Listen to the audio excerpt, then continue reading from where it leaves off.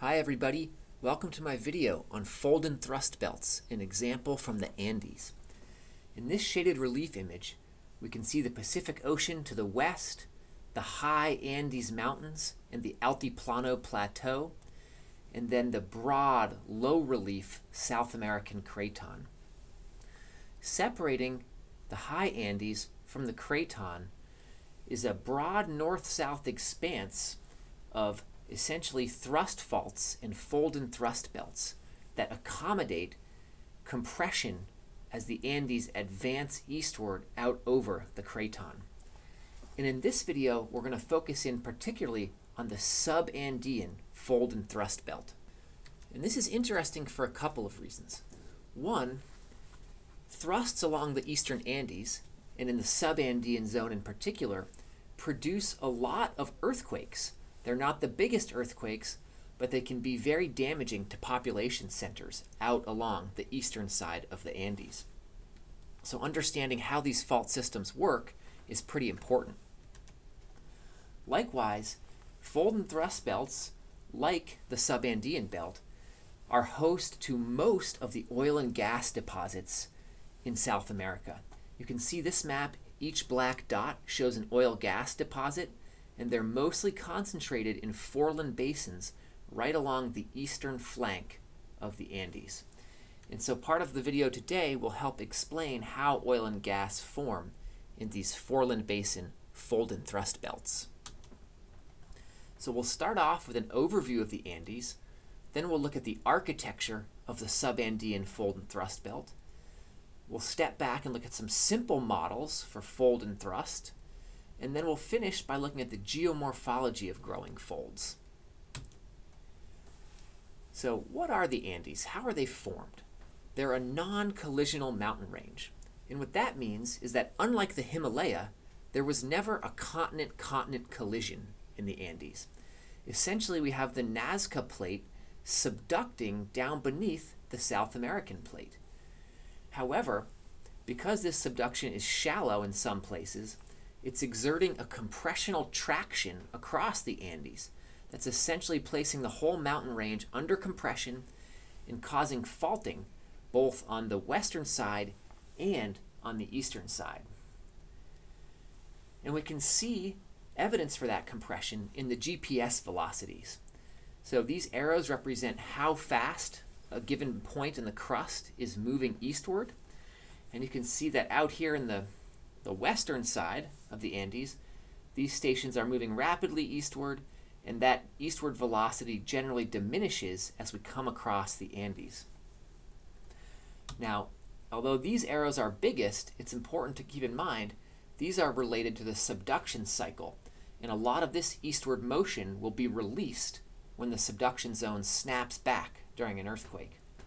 However, a lot of this shortening out in the east is occurring across the subandean fold and thrust belt. And this shortening is going to be accommodated by earthquakes within the fold and thrust belt that are going to actually lead to permanent strain and permanent shortening along the eastern Andes. And so it's really this area we're going to explore. And here's your first look at it in detail. The, the subandean zone uh, is made up of many north-south parallel ridges. And we're going to show in a minute that each of these ridges is essentially a fold underlain by a fault.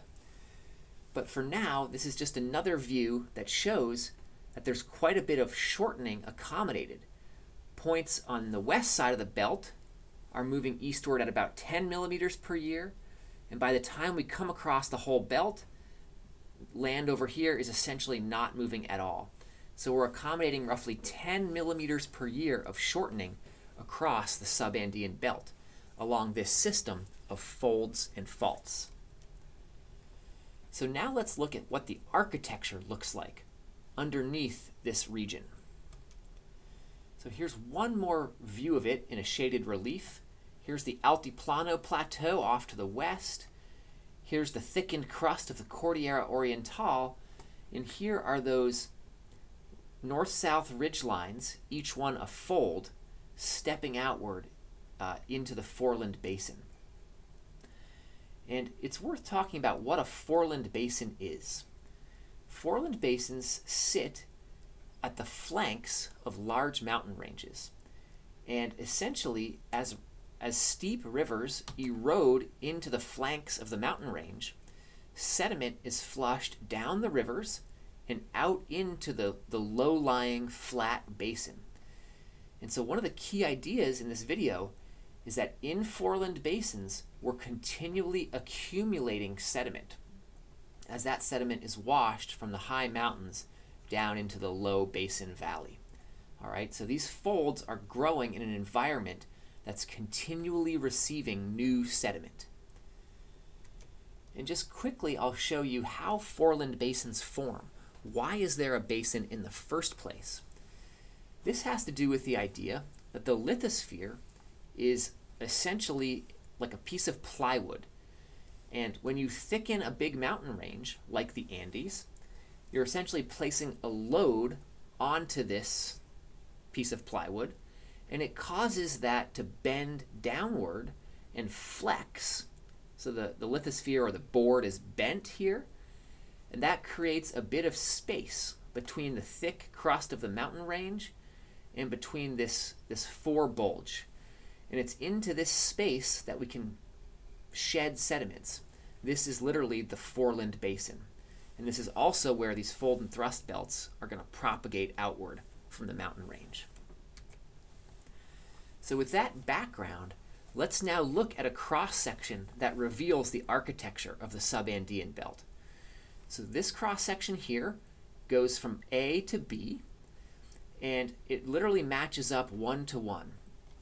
And so we'll move from B, from the east, westward into the mountain range. So starting here, notice the first range we come to is the Aguaragüe range. And that's this little ridge line right here that's just barely emerging from the foreland basin floor. And you can see this is a gentle fold still developing over a thrust fault. As we move further west, we come to the San Antonio Range, which is also a fold growing over a fault system. Okay, so San Antonio is this one here. Then we come to the Baja Oran Range, Pintascayo, the Pescado, and eventually back to the Cinco Picachos Range. So each of these ridge lines is underlain by a, fold, by a fault with a fold above it. So these ridges are literally the folds themselves popping out of the foreland basin. And please notice in this cross section, a lot of these sedimentary layers are older, Silurian Devonian, but everything in white or above it here is essentially Mio-Pliocene sediments that were shed recently into the foreland basin. So these are typically sediments that are less than 10 million years old in this case, that were recently eroded off the Andes and then deformed by the growing folds. And so just to summarize some of the ideas here, what are the attributes of the subandean fold and thrust belts, or attributes of most fold and thrust belts in general? Well, a very common characteristic is that faults splay upward from a basal décollement.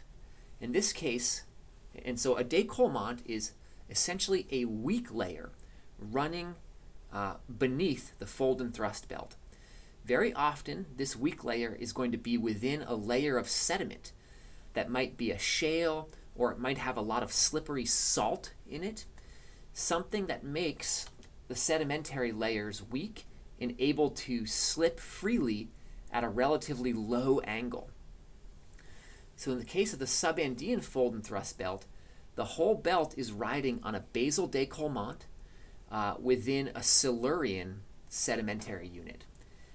And all of these individual thrusts splay upward from that same décollement. Okay, so the whole thing's moving outwards, and then each of these thrusts are popping upward, essentially stepping up from one sedimentary layer upward into a younger sedimentary layer. And we're going to see in a second that's how faults form. One other thought about this in general, these thrusts are younger as you go further outward or further to the east. And this is very analogous to the critical wedge idea, which we reviewed in a previous video. So these faults are generally younger to the east. So now let's look in detail at how these faults and folds co-evolve together. So one key idea about folds in a sediment is that they tend to grow as the sedimentary layers are ramped up and over thrust faults, okay? So here's the underlying thrust fault, and here's the folded sediment sitting above it. So some basic vocabulary. The fold axis is essentially the direction running parallel to the fold crest. The forelimb of the fold tends to be the steeper outer facing limb of the fold, and the back limb tends to be the gently dipping uh, ramp along the back. So one way you can remember this is the forelimb is the one that is essentially facing in the direction that the thrust is going, and it tends to be steeper. So if we look a little bit in detail, I'll show you two examples of how faults can form over a thrust. And I should say there's a huge body of literature on this, and we're just going to skim the surface here. One example is called a fault bend fold. And essentially this occurs as sediments are translated along a flat-lying décollement, and then when they hit a ramp, essentially a ramp in the thrust fault, where the thrust cuts upward to a higher sedimentary level, these sedimentary layers are forced to go up and over the ramp, and as they go through these corners, they essentially fold and the sediments buckle upward into a fold. And that particular geometry is called a fault bend fold because it forms over a bend in the fault. And it's worth taking a quick look at one of Rick Allmendinger's videos, which shows this in detail. So here's the thrust ramp in red, the rocks are going to, uh, on the top of the ramp, are going to move left to right, and we're going to watch a fold develop as they pass over the thrust ramp. Here we go. Notice the fault bend fold developing, and then the, the fault's going to step back, and we're going to get what's called a duplex as a second fold grows uh, over the new version of the thrust ramp. So we'll just watch that one more time sedimentary layers ramped up and over with a fold growing above them. So a second way that faults can form above a thrust is by what's called a slip gradient fold. In this case, you don't necessarily need to have a bend in your fault, but if you simply have higher slip rates at depth and lower or zero slip at the surface, essentially what happens is sedimentary layers in the back are forced up and over, while these layers are essentially stuck, and we can develop a slip gradient fold um, above this particular thrust. So now that you've visualized thrust faults in cross section, let's look a little bit about how they grow in three dimensions. This diagram shows essentially a fault under the surface with two anticlines growing above it. And we might ask, why are these anticlines shaped this way? Why are they higher in some places and lower in others? Why is there a saddle between them? The reason is that we know the anticline grows in response to slip along the underlying thrust fault. However, that slip isn't constant everywhere along the thrust fault, right? The, the slip may be higher right here and lower right here and the slip may end at some point along strike of the fault. It doesn't go on forever. And what we see is that areas of the fault plane that have the highest slip or displacement have the highest or biggest growth of anticline above them, and that tapers off laterally as we get to the edges of the fault plane where slip on the fault is less. So this is what controls a three-dimensional shape. It's also worth noting but this is what controls the growth of anticlines over time also. As they grow higher, they also grow laterally outwards. And under ideal conditions, that ratio of vertical growth to lateral growth is fixed, and so the anticline will keep the same shape uh, over time as it grows. It gets bigger, and then the tip of the anticline migrates out laterally. So now that you understand something about the geometry of fold and thrusts, let's finish the video by looking at how fold growth affects the landscape, how it interacts with rivers and alluvial fans in particular. And it's helpful to picture the environment in which a lot of these folds are growing. Many of these grow above thrust faults that have just stepped outward from a mountain front. So imagine this. Here's a mountain front in Death Valley with a big alluvial fan across it. Imagine we have a growing fault underneath the subsurface that's going to start to develop a fold whose axis is along this line we're essentially going to develop a ridge in front of this alluvial fan. What's going to happen? Well, the most obvious thing is that this the, the rivers and streams that, that ephemerally feed this fan are going to be blocked. The, the rivers are going to have to go around, or the sediment's going to have to be deposited as this new anticline ridge grows. And that's, that's one of the key ideas. And we can really think about these geomorphic impacts in terms of three key impacts. One, uplift of folds is going to uplift and deform the existing fan. So quite often folds will warp the original alluvial surface and change its shape, okay? Likewise, they're going to cause deflection or incision of river systems, okay? In this example, the river wasn't deflected, but it actually had to cut down vertically or incise into the growing anticline.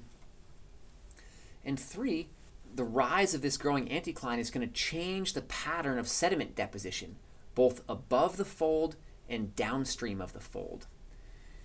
And one very common thing that happens is we form what's called a piggyback basin. And a piggyback basin is essentially when we trap those alluvial sediments between the mountain front and the folded fan and we create new space to store sediment in here, and we pile up sediments in a basin that's essentially riding piggyback on the back of this thrust system. So that's a piggyback basin.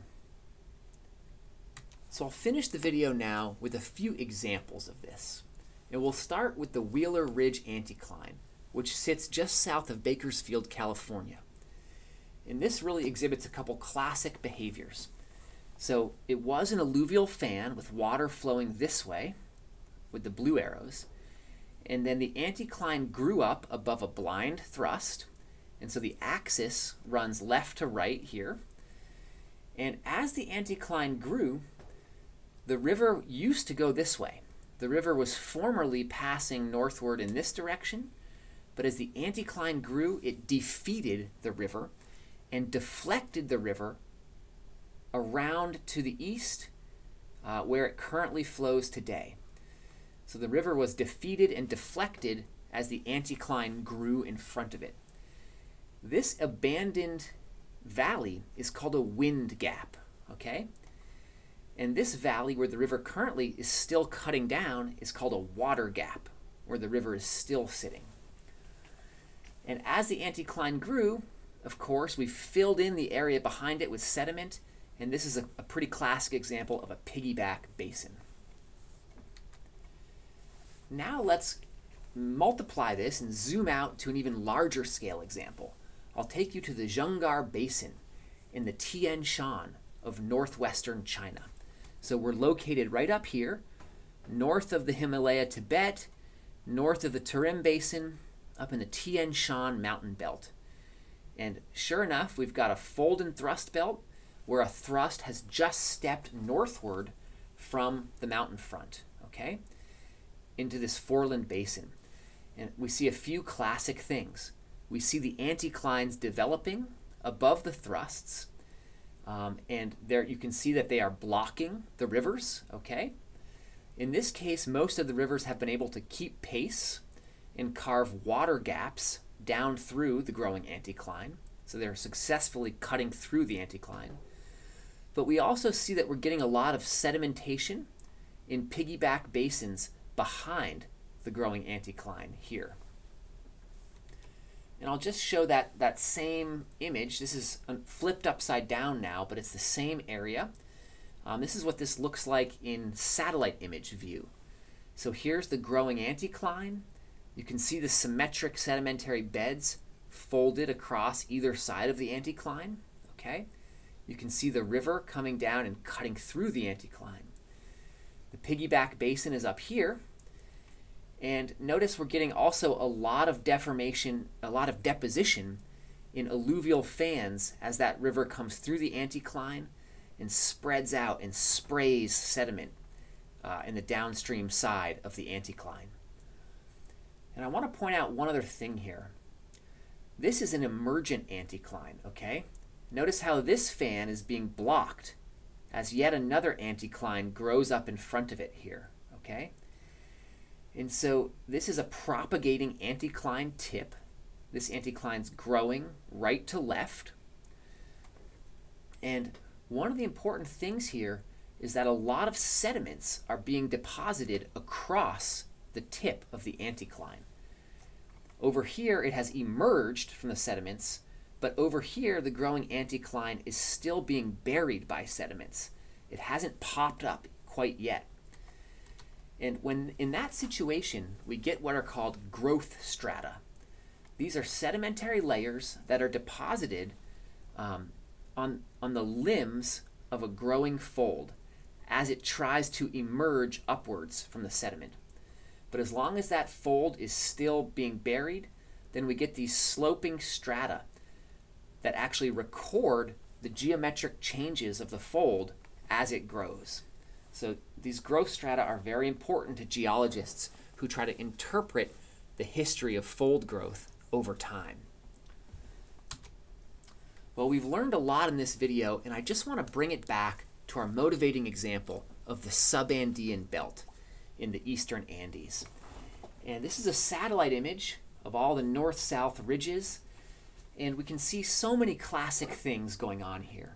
We see rivers that have been blocked by a growing anticline ridge, and they've been deflected around until they join with another river that has enough energy to power through and cut down through the anticlines. Likewise, you can imagine as the next anticline grows further out to the east of the belt, it's being buried by sediment that's coming along this river, and growth strata are accumulating until this next anticline can pop up from within the foreland basin. So in summary, fold and thrust belts form when multiple faults splay upwards off a basal décollement. And the décollement is often a weak sedimentary layer, sometimes associated with salt layers, that slips very, very easily at a low angle. Folds grow above blind thrusts that don't necessarily reach the surface. We showed two examples where folds grow above a thrust ramp or due to a gradient in displacement along the thrust. As that anticline fold grows, forelimbs are typically steeper and they face in the direction of thrust motion, and the back limbs are generally shallower. And we also showed that folds often grow in foreland basins, stepping outward from the mountain front. And as new folds grow in the foreland basins, they disrupt the pattern of river flow and sediment delivery into the basin. They can reroute rivers and they can change the pattern of sediment deposition, causing things like piggyback basins and alluvial fans. So I'll leave you with these concept questions and see you in class.